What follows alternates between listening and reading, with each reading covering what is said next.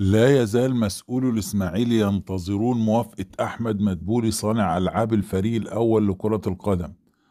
على تجديد تعاقده مع النادي الإسماعيلي حاليا والبعد عن نظام المماطلة المتبع من جانبه لرغبته الرحيل للانضمام لأي فريق آخر. وكان مجلس الإسماعيلي برئاسة المهندس يحيى الكومي أعلن عن وجود صعوبات في التجديد للاعب أحمد مدبولي لمدة ثلاثة مواسم بالرغم من وضعه ضمن الفئة الأولى التي تحصل على خمسة ملايين جنيه للسنة الواحدة بسبب تعرضه لإغراءات من أندية منافسة للانضمام إليها في الماركاتو الشتوي المقبل أو نهاية الموسم القروي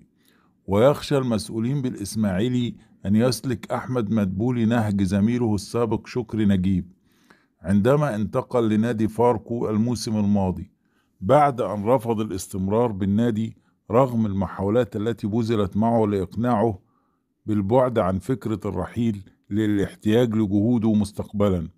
مع إمكانية تعويضه ماديا بالشكل المناسب للجهد المبذول داخل المستطيل الأخضر في التدريبات واللقاءات الرسمية بالمسابقات المحلية. ولكنه رفض وفضل الانتقال لناديه الحالي وهو نادي فاركو.